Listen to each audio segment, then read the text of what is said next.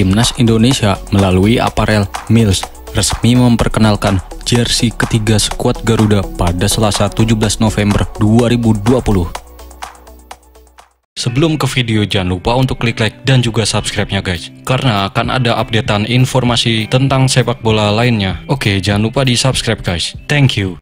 Ya, Mills meluncurkan jersey ketiga timnas Indonesia dengan dominasi khas warna hitam dan emas Konsep yang diusung yaitu lambang negara burung Garuda Posisi lambang negara burung Garuda ini berada di tengah jersey dan dikelilingi garis segi lima yang membentuk benteng pertahanan Kesan elegan muncul karena dipadukan dengan warna emas yang terdapat di lambang Garuda aparel pada nama dan nomor pemain.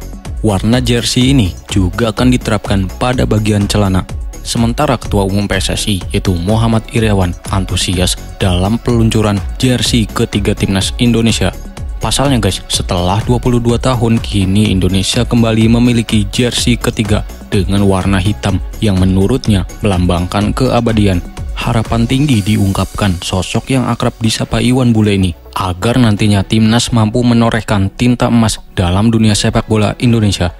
Iwan Bule mengungkapkan, setelah 22 tahun atau sejak 1998, kami meluncurkan jersey ketiga yang berwarna hitam. Warna hitam itu abadi, bisa masuk ke mana saja.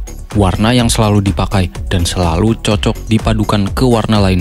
Goresan warna tinta emas melambangkan Garuda, Mudah-mudahan anak-anak menorehkan tinta emas sesuai harapan. Pungkasnya, Ketua Umum PSSI, Iwan Bule. Selain itu guys, komentar beragam muncul dari netizen tanah air setelah melihat jersey ketiga timnas Indonesia yang baru saja dirilis. Selain mendapat pujian terlontar, juga beragam kritik dari netizen yang menyinggung kompetisi sepak bola tanah air tak kunjung bergulir. Oke, mungkin segitu saja untuk informasi kali ini. Semoga saja ke depannya timnas kita bisa berkompetisi lebih baik lagi dan bisa memperbaiki ranking FIFA. Dan tentunya Liga 1 Indonesia harus berjalan dengan baik. Jika ada pendapat lain dari kalian, tulis di kolom komentar saja ya guys.